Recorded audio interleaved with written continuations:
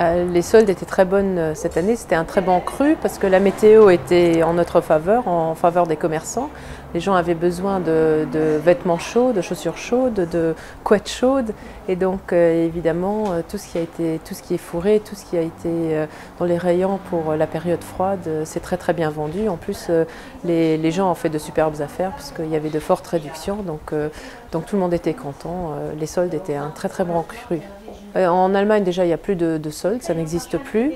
Euh, en Belgique et en France, les périodes des soldes sont différentes. Donc, euh, elles commencent souvent un peu plus tôt à Luxembourg, euh, toujours le 2 janvier en fait. Donc, je pense que les, frontières sont ouvertes, les gens vont voir un peu partout, mais nous, on remarque qu'il y a de plus en plus de Français, de Belges et d'Allemands qui viennent à Luxembourg pour, pour faire leurs achats en général et puis pour les soldes en particulier.